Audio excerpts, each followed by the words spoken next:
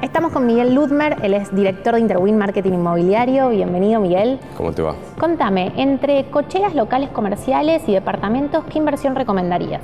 Eh, los consejos a nuestro criterio son a medida, con lo cual no le recomendaría lo mismo a todo el mundo.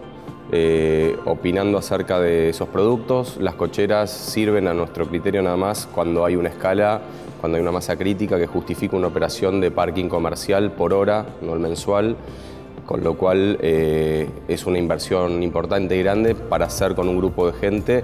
Eh, no, es una inversión minorista, digamos. No recomendaría comprar una cochera suelta, separada, en la que dependemos para la renta de la operación del portero del edificio. Los locales comerciales son muy interesantes, son muy nobles como productos de, renta.